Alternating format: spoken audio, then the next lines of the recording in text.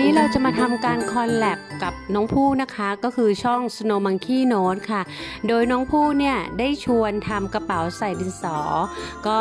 ให้เราดีไซน์เอาหรือว่าออกแบบว่าเราอยากจะได้กระเป๋าทรงไหนแบบไหน ส่วนน้องผู้ก็ไปหาแบบของน้องผู้ แล้วหลังจากนั้นเนี่ยพอเราทำแบบเสร็จแล้วเราก็นัดกันเพื่อที่จะส่งคลิปเพื่อเอามาคอลแลบกันอีกทีนึงลองลองดูนะคะว่าในแต่ละแต่ละ